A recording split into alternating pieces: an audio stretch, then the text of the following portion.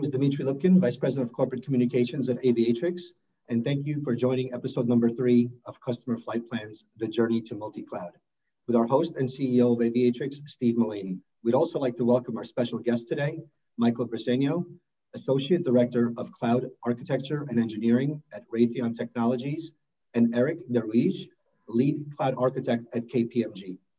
During the show, the audience will be on mute, so if you have any questions, please type them into the Q&A section and we'll respond to them accordingly. We'll also have a couple of questions at the end for you to answer, so we appreciate your feedback. Thank you again for joining this episode, and without further ado, I'd like to hand this over to Steve. Steve, please take it away and enjoy the show, everyone. Great, thanks, Dimitri. Hey, uh, Michael, good morning. Eric, good afternoon. Great to have you on the show today. Yes, Steve. Likewise. Yeah. Nice to be here. Um, you know, this one's a, an exciting one for me. Um, typically, what we do is we get a customer on and we and we talk about their, you know, the the, the technology and the business, so to speak, of at, for their company in terms of their journey to the cloud, and that's that's really interesting. But this one's kind of near and dear to my heart because it involves humans. You two guys, it's it, there's the technology, but the thing I've always said is the greatest you know impediment to technology adoption is never the technology. It's all the technology is always fine. It's the damn human. It's people. At the end of the day it comes down to people.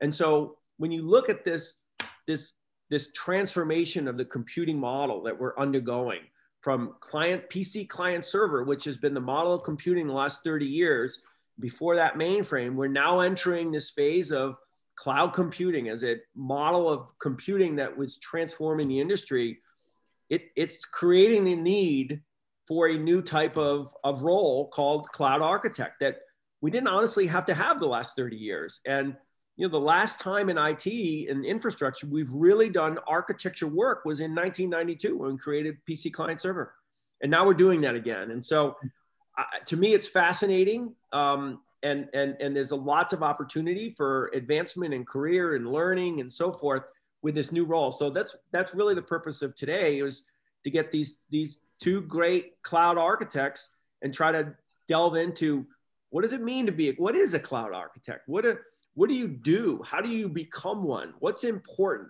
How do you get your companies to move to the cloud and and and and kind of break out of the old model of computing and, and, and so forth because in a lot of ways a cloud architect is an evangelist to try to get the company really to, to move into this new model. So that's what we're going to do today. We've got two two great guests. Um, maybe we can first start by maybe you guys just giving a, a just a quick update. Maybe eric i'll start with you. You know who are you and what's your background and you know what do you, what do you do for kpmg um, my name is Erik de Rooij. I'm located in Amsterdam and uh, past time, if, if, you look at my history, I've been starting at consulting, but actually more around delivery consulting and gradually moving into architecture, uh, enterprise architecture, cloud architecture. I think my relevant experiences uh, for KPMG was mostly in financial industries, a few of the Dutch banks, one of the larger trust funds in the world, where I helped setting up an architecture capability and now uh, the role at KPMG International, holding the role of lead cloud architect, and it's mainly there to guide and uh, provide guidance for KPMG International to provide a global cloud platform for all of its member firms to actually onboard into the cloud and stay go out of the traditional data centers and really embrace the cloud. And it's not just me, but I'm one of the guys and girls involved in that. Great. And Michael, how about you? Uh, sure. Um, so my name is Michael Briseno, and, uh, and Steve, again, thanks for having us uh, aboard on this. Um, uh, I do work for uh, for Raytheon Technologies. Uh, previously, you, uh, United Technologies before that. Um, I've worked, um, you know, for a little bit over 20 plus years in, in IT um, with historically a networking background, but I've done system administration. I've done enterprise architecting. Um, so I've bounced around, you know, to the different, all the domain silos. Um, and I've worked in, in finance, I've worked in Wall Street, and I've worked in DoD in the, in the middle of the desert. So I've done a little bit of all spectrums of, of, uh, of IT work. Is, is you get, ever get any UFOs out in that desert? No, no, got a couple mortars, but no, oh, no okay. UFOs. So, yeah.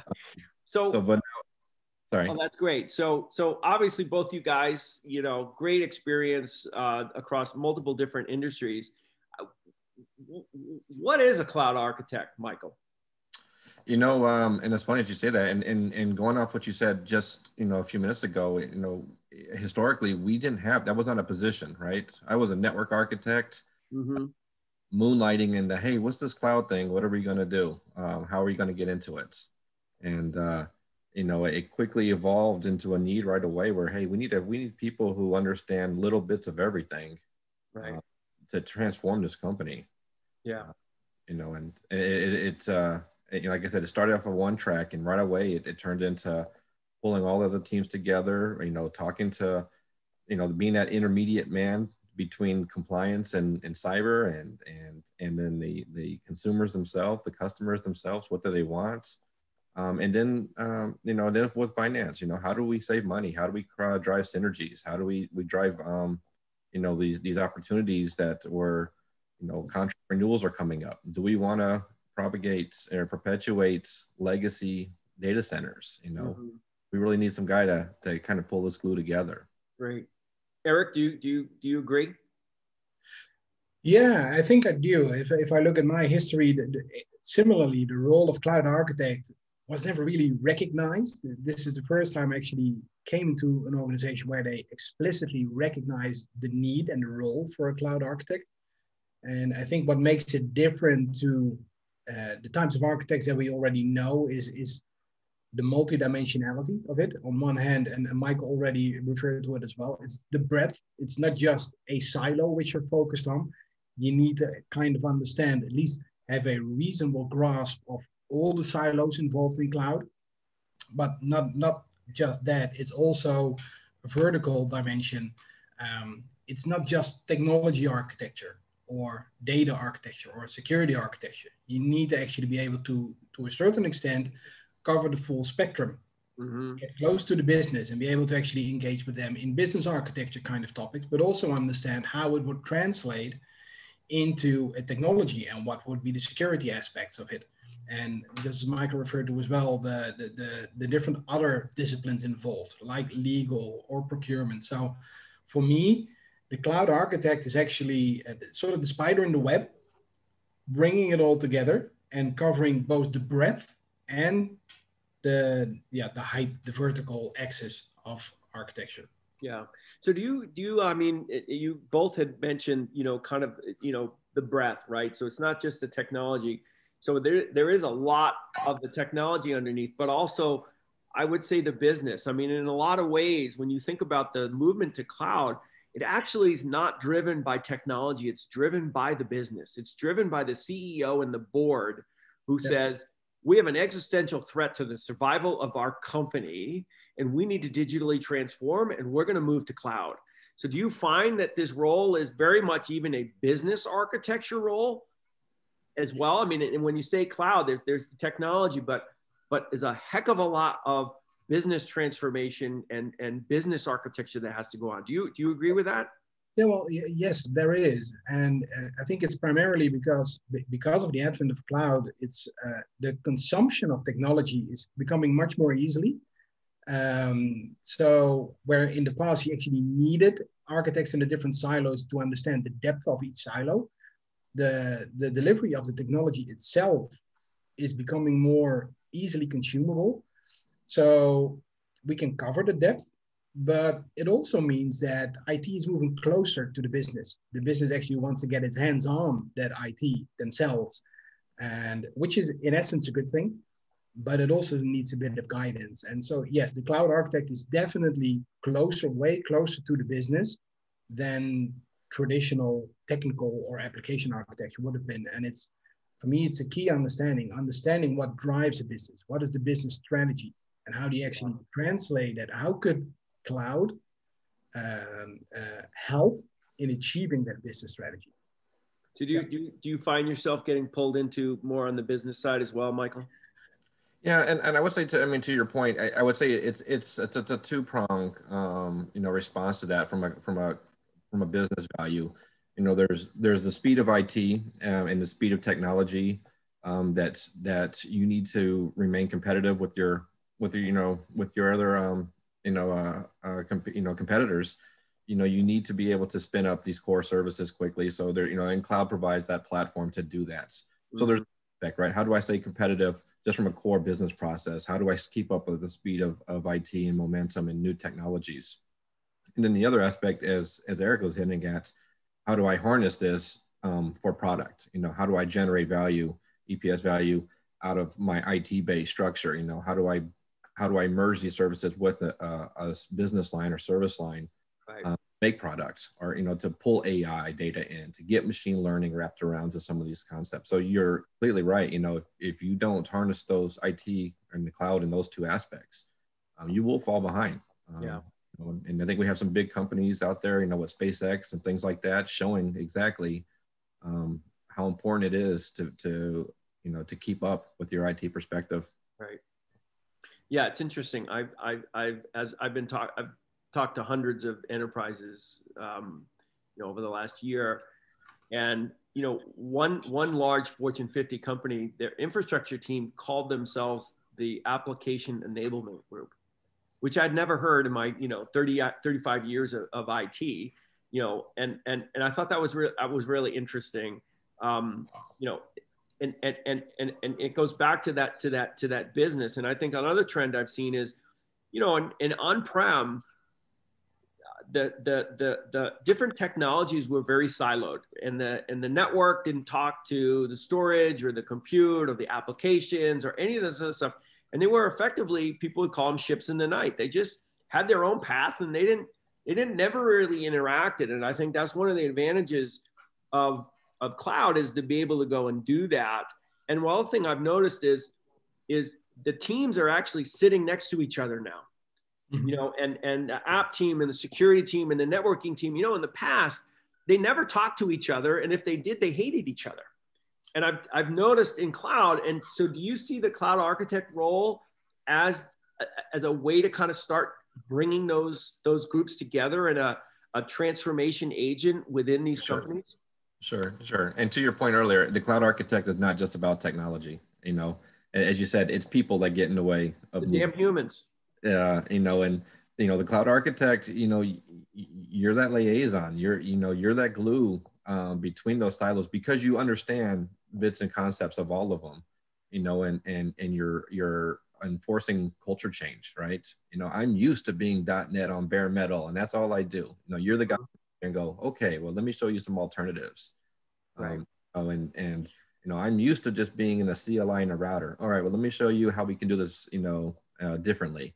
So yeah. so definitely the the cloud architect is that guy to drive that. Um, and and you're gonna have you're gonna have uh, you know anchors in in your in your staff or, or, or in your environment. And it's your job to, to work at those anchors and, and show them the benefits. And um, again none of that's technical. And maybe some technical reasoning and fact showing out but a lot of it's saying hey let's get together. Let's find out hey cyber wants to meet these compliancy objectives. You know uh, finance needs to meet these objectives. Um, and cyber wants to make sure that's that we're controlled um, from you know a, a perimeter perspective. Let's do it. And so that, again uh, it's a people thing at that point. Right. Yeah, I think I'm quite convinced actually, Michael, that technology is the lesser part of what makes a cloud architect. It's really is more about um, the people aspect and the change. Uh, if you if we really need to dive deep into the technology, you still have your engineers. And if I look at my experience, the, the engineers in a particular part definitely outskill me in their technical skills. Um, I think the key for a cloud architect is around continuously influencing and showing what cloud can bring and how it can bring it, and also addressing um, the inhibitors for change primarily. So uh, potentially the dinosaurs in the organization.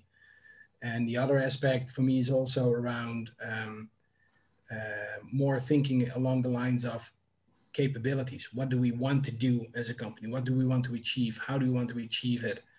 And then making the technology supportive rather than in typical traditional IT world, maybe making the technology the first and foremost point yeah. of an IT guy. Yeah. So one of the, one of the things I always this is a phrase we use at Aviatrix all the time, which, which I believe in and just in everything in life is architecture matters. You know, good architecture, good life. You know, say ha- ha- happy wife, happy life. You know, uh, good architecture, good good life. Uh, bad architecture, your your life is pretty miserable. Um, you know, that's in your title, cloud architect. Um, yeah. You know, h- how important is architecture in all the different things, whether it's Aviatrix in the network or just throughout the whole cloud? And do you do you get pushback from people that don't want to think about architecture? I think it's a, of course, I'm the first to say that architecture is hugely important. Otherwise, I would be minimizing my own role. But all kidding aside, I think Michael put it very well. Architecture is often the glue, and but it's also also it's often the thing that's not seen. Uh, I typically uh, characterize architecture or architects as as an insurance premium. Uh, you only know it when uh, you're only really aware of it when things go wrong and you don't have it. Right. And that's the annoying part uh, for, for, architecture in general, sh- showing the value of architecture. I'm, I'm truly convinced it is there, but actually showing it and making it tangible is also the challenge because you typically, it's only seen once the architects are eliminated or not present yeah. and it goes wrong and then you can come back in to pick up the pieces right. um, so i think yes architecture is important um, and for me it's still at times i struggle to to quantify and qualify the value of it mm-hmm. great um, you mentioned training and bringing yeah. you know bringing people along so you know at aviatrix we we started the the ace program. I, I don't know if I, Michael, maybe I think you might be an ACE. I don't know, yep, Eric. Yep, I did. I did ACE. Yeah. Yeah, good. So um, uh, stands for Aviatrix Certified Engineer. So um, we we looked out a year and a half ago and said, okay, we're going to have this move to cloud.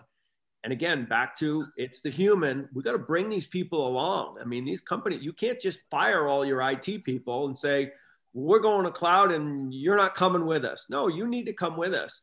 And and they're going to need training. And we looked and we said, you know what? The networking people, the network security people are going to need multi-cloud networking training, right? They're going to need, so our ACE training teaches, teaches people multi-cloud networking, not just one cloud, all the clouds. Yes, they learn a little bit about Aviatrix, but it's very similar to what Cisco did in the 90s, the early 90s with CCIE. You learned IP networking, and oh, yes, a little bit of Cisco, Mm. But hmm. we now have over, guys, I don't know if you know this, but we're probably at about 10,000 ACE certified people right now. It was 9,000 a little while ago. We just announced um, a couple months ago our 5,000th ACE.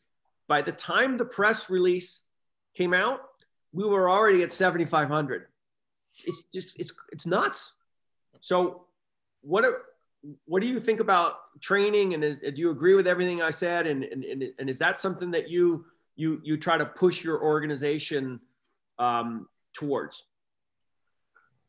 I mean you have to. You absolutely have to. And, you know and i think what you're going to see um, you know as an architect or someone already in in your it department is you're going to see the folks who who have that passion um, who who want to know more whether about cloud specific or just it in general you know that you they're going to have the passion there, but they need that basic understanding of how uh, you know from their original silo or the original discipline um, into to the cloud. And and the aces provides a really good platform for them to do that. And, and you absolutely got to do it. You know you can't just talk to somebody cold turkey um, you know old school network. Hey you, you know transit gateways vpcs direct connects vist you know express routes you know they're not going to know what that means. Um, so they absolutely need that training and you don't want to put them in your obviously your live production area to do that. So you right. know get them there. I, I, think what i've seen everybody's very appreciative of just getting the opportunity to train. Um, definitely worth it. Um, you know uh, and i highly recommend it. So yep. and folks and even for folks who ever touch certain parts of, of the network but maybe an application owner you know i need to understand how this works. I, it, it helps me understand that you know um, the cyber team they may they may never touch the aviatrix console or the controller but they should know what it does and how it works and and, and actually i think it pulls the, the picture of cloud together better for them yeah. Definitely uh, for everybody not just the network guy or not just the cloud guy.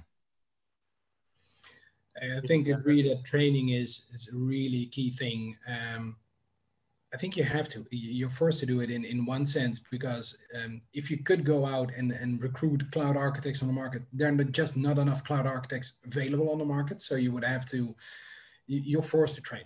So that's kind of the negative side to it, maybe. But on the other end, you often have a great set of people already in your organization.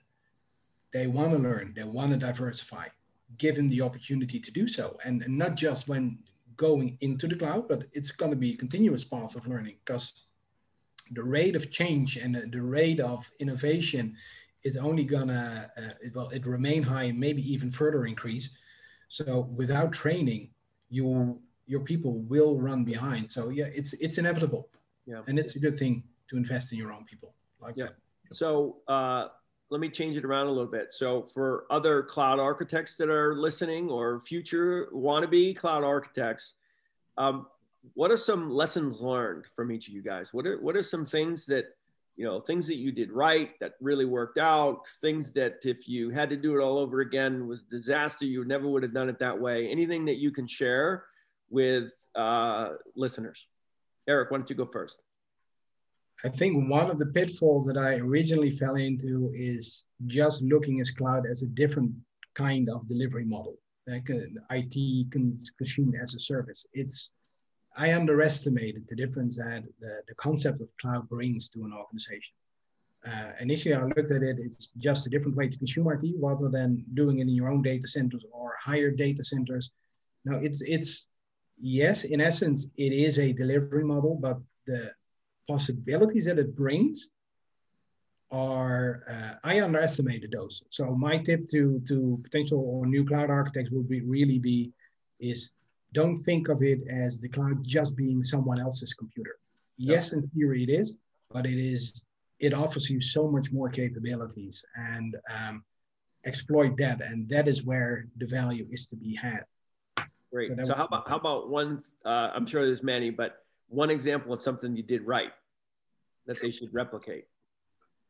Um, when you come into an organization or an organization is, is about to enter into the cloud, just take a moment and stop to think what is what is your cloud strategy? Why do you want to do it? And and how you want to get there? And what value do you think it's going to bring you? Um, just going into the cloud for the sake of cloud is probably not the best way to do it and just lifting and shifting your existing stuff into the cloud is also not going to be the way to do it. It's probably going to be more expensive than doing it in traditional manners. Mm-hmm. So you really want to think of, but why are we doing this? What are we trying to achieve with it? And then quantify this and, and define those benefits in terms of business benefits.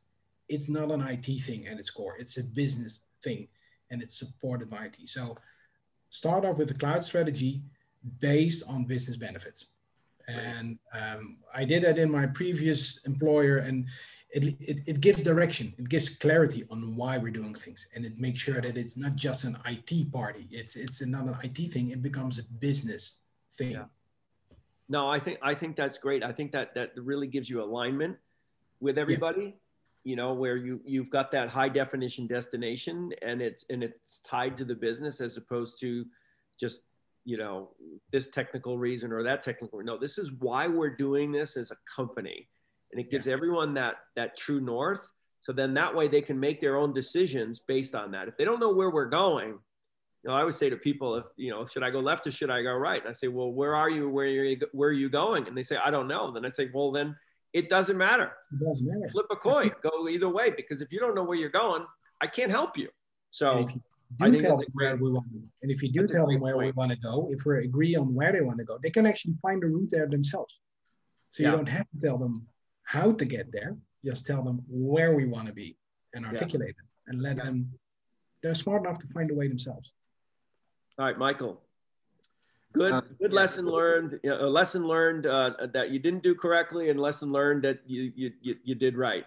Ooh, okay. Well, we made a lot of I made a lot of bad mistakes. That's for sure. No, um, you know, Eric touched on the big ones, but I, I think you know I think what's going to happen for a lot of cloud architects coming up and you know into um, into the game and, and trying to get into it is you'll find yourself and I, and I even do this even today four or five years later um, you know um, uh, defaulting to your base discipline. Uh, and it's a lot of times for me you know I'll talk cloud and I go heavy network heavy network heavy network. And and and uh, that's a fraction of it. So I would say one recommendation for any uh, cloud architect or someone moving into it. I mean, it's a great foundation, your base discipline, but don't tie yourself and design and tie your architectural designs to your base discipline um, because it, it skews the view of cloud and it skews the consumption of cloud for the rest of your customers. Um, you know, if I go to an app team and talk network, their eyes roll in the back of their heads, right? They don't really care about that part. Um, but the network guys and, and, and firewall guys do. So that would be one of the biggest pitfalls. Don't get stuck in your discipline. Um, and the second one is you, you gotta you gotta document documents um, because if you know you get two down two years down the road and go oh I have an audit or I have you know I need these playbooks written or I, I'm I'm hiring 30 new people to my team you know and they go hey where are the playbooks or the architectural reference design and you're like, ah, I got a couple Visios. That's that's that's not going to work. So stay on top of your docs, um, right. and get those published and cleaned somewhere. Right. Um, and and for things that we did well, um, you know, that I would say one of the things we did really well was leverage our partners. You know, um, leverage your partners. You know, and the vendors that you're working with. Um, get those best practices. Get those ideas. Um, you know, to help you formulate um, you know, there's a bunch of people who've done this before. Doesn't mean you need to copy them, but get the concepts down and understand ways people are doing this and, and way people are delivering the services. Um, don't reinvent the entire wheel. Again, you can make your tread a little bit different, but leverage your partners. And we did that really well, I think, um, uh, you know, with our with our journey. That's great. Actually, th- that's great advice from you guys. I, you know, um, hopefully people appreciate that. I, I always find that interesting. You know, it's one thing I always ask people. Um, first, first time I was a CEO, I asked Scott Kriens, who was CEO of Juniper. He's, he's a friend of mine, and I called him up right out of the blue, and and I was a first time CEO, and I said, Scott, you're a pretty successful CEO. What was your lesson learned for a first time CEO? I caught him off guard, and and he had just a, a perfect perfect answer. And just when you ask people that, I thought you guys' answers was great because it's just it, it wasn't rehearsed. You didn't know I was going to ask that, and it's just like it's just it's just perfect. But Scott told me he said never underestimate the power of intention. And uh, and then he said hands on the wheel, eyes on the road. You got to execute to get to that intention. He said life is like like a like a puzzle. You got to put that puzzle. You know you're going to make that puzzle. Put the put the cover on there, and then say I'm going to go build that puzzle because all the pieces you have on your table to are, are about like 100 puzzles they're not all your puzzle and you have to pick the pieces you want and have that intention to go build that puzzle but anyway I, I, I think it's uh, I, I love the, the the feedback that you guys had in terms of just lessons learned. I think is very um, very good for for future cloud architects and even people that are cloud architects now. So what um, another question I like to ask um, which which uh, is typically boards ask this question of CEOs all the time. What keeps you up at night, Michael? What keeps you up at night? Um. Yeah. So you know, obviously in our business, you know, uh, any type of exposure, whether it be an exfil um, or, or an infiltration attack, you know, and and something that you know, what keeps me up is did I architect this in the best way possible. You know, it, was there any gap with this? Um, you know, is did I leave a, a, hole that I'm just not seeing because of the way I'm my perspective on on this build? Um, you know, so and I think I think that's shared with with many people who operate in cloud and, and many of our cyber folks, um, you know, here as well. Um, so I would say, you know, that those aspects are what bothers me. Um, the second one would be is, is can my operational team handle something you know, at 2 a.m. too. You know, have I provided enough documentation, enough details uh, to the engineering team and, and the transition team um, so they're self-sufficient, um, you know, and, what they do, and do they have the right tools um, available? So those two concepts, I think, are the ones that. Okay. So it's interesting. I'm just looking, Michael, at the, there was a question that came in that said, my teams are so focused on getting functionality, but they don't think about visibility how do you prioritize operations in your architecture decisions? I think that goes along with what you just said. Yeah, well, you know, and that goes uh, to one of the points you know that, that Eric was talking about earlier. Right? It's it's all silos are involved with the architectural design in the first place, including operations. And And obviously, when you're moving to a cloud environment, you're looking at things like IAC, infrastructure as code. You're looking at those platforms that, that are going to, um, you know, automate and, and build your, your infrastructures and your support models. And, and you have to build your op models in by default, you know, and you have to build your login modules by defaults.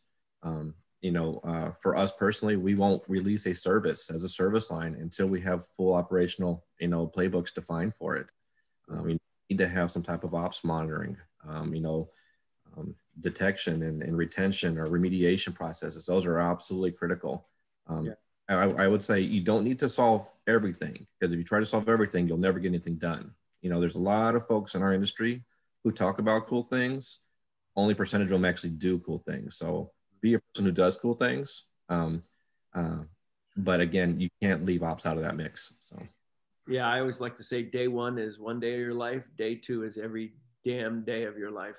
if you get if you get that wrong, you know, yeah. people yeah. sometimes forget about you got to operationalize it, and it can't just be you know your one hero in your organization who yep. scripts something up and he gets it all configured. But then what do you do when something goes wrong? As it always does, something's not working right. Oh, well, we don't have the visibility. We don't have the day two operations, and and, and where's the hero? Oh, the hero quit He's not with us anymore. Great. Yeah. Now what do we do? Exactly. Exactly. All right, Eric, what, keep, what keeps you up at night? I think for the first point, I have to to agree with with Michael as well. It's uh, the the risk of exposure. Yeah. Um, because it comes, it's becoming so easy to consume cloud services. It's it's also very easy to actually have a mistake in there and to over overlook things. And it's often not even the intent to make a mistake or to create exposure. People are just willing to generate, uh, to create a functionality and generate value. And in the slipstream of that, they actually forget the risk that there could be involved in some cases. So that's the exposure and keeping things safe and secure and compliant. How do we do that? And how we actually get, how do we keep sight on that? That's one of the things that keeps me up at night. Yeah. And the other thing is uh, more of a personal thing. Um, have I have I thought of everything? Have I made the right choices? And um, have I not get stuck in over and over analyzing instead of just doing? And I believe Mike also referred to that as well. You can be part of the group of people that actually does things, or be yeah. part of the other group. Um, personally, I have a tendency at times to, to doubt myself and uh, be part of the group that over analyzes. Mm-hmm. At times, I need to kick myself and actually spring into action mode. It's better to to do and then have to correct it later on within yeah. within reasonable bounds than to not move at all. Yeah, I think that's an interesting thing. One of the uh, another customer told me that the definition. So when you think of mission critical systems, so what you know, everything in enterprise is all about mission critical, right? So in mainframe, that world, it was all about you know mission critical and five nine. Same on on prem. How do we deliver that that mission critical um, enterprise class functionality of you know with the security the reliability all that kind of stuff and sometimes you can go too far and now in cloud the word agility is actually part of mission critical. You know it can't just be you know in the past 10 15 years ago you, you know the business units would ask it something and the response from it would be what year do you want that in? And the business units would say what year? Like i need that next week. So guess what? I've got a credit card. I'm going to aws and and so and it created shadow it which is not good for the enterprise. And when we move into cloud now the enterprise is saying we can't do that anymore. We have to be we're regulated industry. We're going to have audits. We're going to have all the things you guys are talking about but yet we can't go back to the old non-agile way that says 2022 or 2023 do you want that? Like that's not going to work. So everything that you say is so it's like i need all that visibility all that control all those all that stuff but yet i need it in an agile way um, is is really the tension i think that you guys are saying yeah and that, that struggle it really is one of the hardest things to balance actually how can you still deliver on time and generate value but also make sure at least you got sufficient level of compliance and security yeah. assurance in there. But you know, one of the things is, I think that um, that happens though with cloud is everything's as code, even yeah. the infrastructure. I mean, even with with Aviatrix solution, you can terraform it. And so guess what? Humans make really bad distributed systems. They they they take vacation, they make they fat finger things, they're slow. I mean, the more that you can automate and have things as code is a is a is is is a much better way because that's typically where the problems like you talked about did I do something wrong? Typically what happens it's some person. Yeah. They mess something up. But it's still a person and yeah. Uh, I think it's currently we're driving a lot towards automation and it's on one hand it's efficiently on the other hand it's eliminating mistakes and do mind that if you make a mistake in an automation it's a big mistake right as of day one but if you get it right it brings yeah. you a lot of peace of mind well that's the other problem with automation uh, another customer told me you know what automation means faster to disaster well, yeah that is the risk of, of you could be very careful yeah. You, yeah. Um, what about multi-cloud? I mean, that's you know, two years ago there was no there was no such thing as multi-cloud. Everything was AWS. Uh, recently, I've seen AWS now recognizes the word multi-cloud. Um, you know, what, what what do you guys think of that? What what, what are your thoughts on multi-cloud? Um, I'll, I'll, take this one first, Eric. Eric, and, and you're right, Steve. You know, Jesse, what talked about it what last week, right? And yeah, and re:Invent himself. You know, uh, you know, in I think what you're going to do is you're going to definitely have people in those comfort levels. If I've done this before, I'm I'm very I'm a Microsoft shop. I'm really used to Microsoft, so Azure makes sense. Or I've been in AWS before, and I like AWS. The the thing about it is they both have pros and cons to their platforms. They both have pros and cons to their SLAs, their their availabilities, um, you know, and and and they may even have um, it may be something more at home. You may have a TAM that you work with really well, you know, in your region um, but I would say, and, and, depending on the size of the company, obviously, um, I think that will help dictate how much exposure of multi-cloud you'll see. But um, you, you, know, you need to, you know, you need to, you need to invest in both. Um, you need to see where workloads make sense for you. Um, you know, you may have certain workloads that that, that you're it's 30% premium running in this platform over this platform, and and and does it make sense just because I feel better about it to pay that 30% premium? Maybe, maybe not. You know. Um, you know, maybe this other platform has some other stuff that's embedded to some of the other work processes I work with, or workflow processes. So maybe it makes sense to use this one. So um, I think if you're not thinking multi-cloud, you're, you're doing yourself a disservice um, and you're doing the company a disservice, unless there's some underlying reason why you just yeah natively can't do it. So right. Yeah, I think I'd say in terms for multi-cloud, I would say tread carefully. I think in my experience, I, I have ultimately it will be inevitable. Yes, larger companies will have multi-cloud strategies or will have workloads running across multiple clouds. Uh, but I've also seen companies wanting to do that too fast. And in a regulated industry, actually, they had to take a step back and get out of one cloud and go back to a single cloud because it was already quite difficult to uh, have a mature cloud adoption in, in one cloud already. So is it, it's inevitable? Yeah but don't over rush it. Don't rush it. Just yeah. make well-founded choices. What workload needs to go where, and take into account things like um, uh, the difference in skill sets that you might need, data gravity, the difficulty of moving data around between cloud platforms, and maybe it is worthwhile to accept somewhat higher cost in one cloud, uh, but it gives you a single set of skills to manage, a single platform to manage, and gives you benefits in other areas. So yeah, make well-founded decisions and don't yeah. just go cloud. Uh, I, I, I've seen um, what I've seen is exactly what you say, Michael. Is is is the, the typically, and it's kind of the conversation we've had is the business decides actually. You know, the infrastructure team doesn't get to decide. It's not a decision you make. The, the business decides, and I've seen that happen over and over and over again where the business the application teams actually say this is where i want to run my workload and i don't think people have multi-cloud applications meaning i'm going to make this thing span across three different clouds nobody does that right. what they do though is that app or that bu says for whatever reason like you said mike for this reason i'm going to run in gcp and you've got another BU or you've got another part of the business that says, I, have started on AWS, I'm going to run on AWS. And another part says, I've got an Oracle database, I'm going to use Oracle. And what ends up happening is that architecture, you need to be able to support all that. And it's not that you've got one app that's going, I don't think anybody's going to do that. And nobody ever arbitrages and says, well, I could run it on AWS, but I can save 10 or 20% if I run it on uh, Oracle because Larry's going to give me a better price. Nobody does that, right? I mean, it, it, it, they run it where it needs to run best, and, and there's not going to be that arbitrage. And I always like to say, people, you know, people always think it's not because I don't want to get locked in. Actually, humans like being locked in. They do. I, I'm a 100% Apple customer. Why? Because I know it's all going to work together. So, so the infrastructure team actually would like to just be one cloud.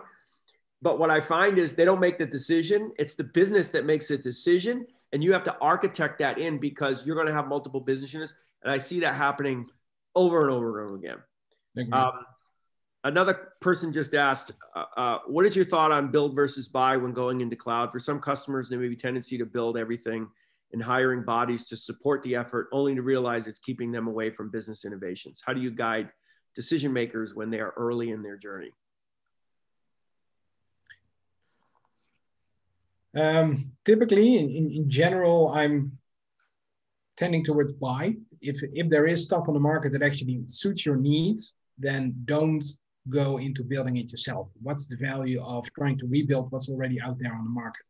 Um, you should only invest in the build effort for those things that actually give you additional value, like a competitive advantage that the others don't have. So choose wisely in that sense. And if it's relatively commoditized, go for buy. And if it's giving you an advantage, then consider build. But then um, make sure you prevent somewhat sprawl. Uh, you can build everything in every different kind of technology um, it's going to bite you in the end because you need to still support it and keep the skills on board for all of it. So I would say, Steve, my answer to that would be, you know, it depends, right? It always depends. Uh, data class, it depends on your, you know, uh, uh, what you're building and where you're building it um, and all that. What I would say is um, a lot of folks get into the rut of a lift and shift mind frame. You know, hey, it's on bare metal today. It's on VMware today. It's on, you know, Citrix today. Let me just spin an IaaS box up and rebuild it there. And then, um, and then I just migrate my app there.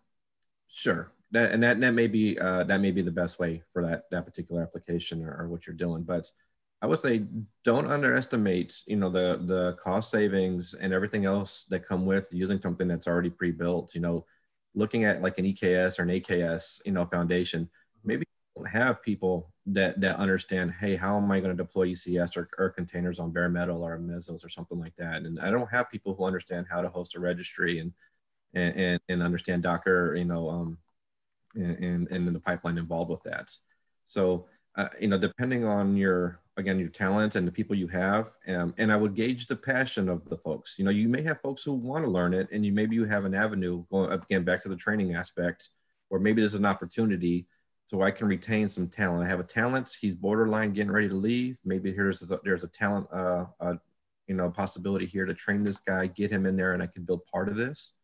Um, but I would say definitely don't underestimate the, the already pre-built, you know, because those PaaS services, um, you know, also, you know, th- there's a cost savings to them, right? Mm-hmm. You know, running RDS or, or, or Azure SQL it's much cheaper than running EC2 VM with, with SQL 2019 licenses on them and the DB administrator that takes to run it. Um, so again, it really depends on your team on the build and buy, but I wouldn't, I, I would definitely try to consume more PaaS services and, and, and functions and Lambdas um, as possible. Yep. Great. All right, well, this guys, this has been great. One, uh, one last question for, for both you, and then, then we'll wrap this up. But uh, what are you excited about looking out into the future, you know, for cloud and and in kind of your role as a as a cloud architect. How, how do you anything that you are excited about future wise? Eric, why don't you start? I think what I'm excited about future wise is the continuing rate of innovation that's happening. It's uh, it's, it's not slowing down. It's speeding up, if anything. Um, although it's giving me challenges, it is also cool. I, it really drives me to kind of stay on stay on board with the technology innovation, see what it can actually mean to the company, and and get the most out of it.